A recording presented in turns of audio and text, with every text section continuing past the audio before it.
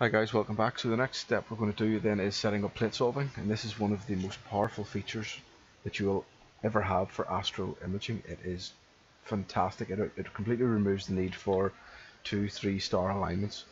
So if you go to this tab, what I use for this within Sequence Generator Pro is plate solve 2 and I would I set mine to 100 regions because I find that if it doesn't find it in the first 100 regions it's not going to. So best to roll over to your blind plate solver. We'll talk a little bit more about that later. So I take a higher exposure, or sorry, a, a, a longer exposure with a lower ISO. I find that gives better results.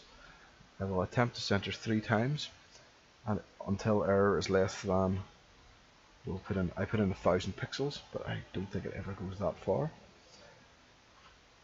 so if we hit settings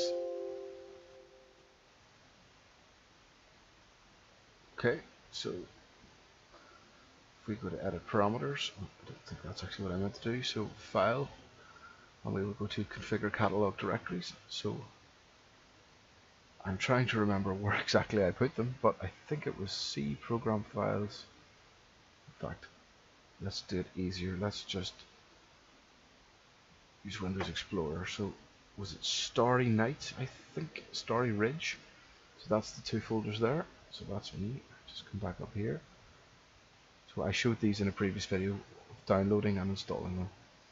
Think of my previous setup, I actually moved these files into the folders that it suggested up here. But I think for this one, so was that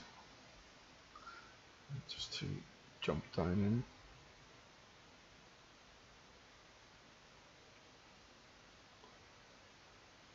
Think that is all we need. So that is everything. That's it set up.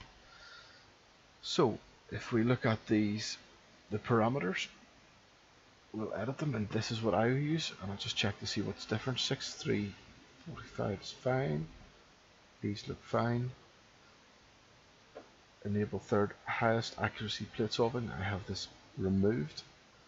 So to do this, this is what I had was 54 30, 30, my location. My longitude is minus 6, 0, 4, 1, 9. Um, and we click OK. So it has the wrong settings in there. I'm trying to recall off the top of my head and I can't what these are, but I don't believe we need to put these in because I think that SG Pro will actually push these in from your camera profile because it is obviously able to calculate using your scale per pixel and your number of pixels. It's able to figure out what you need to do. So then we will come down in our plate solve. Click save again. We will use blind failover. So this if this plate solve 2 doesn't work, you can move to a secondary system.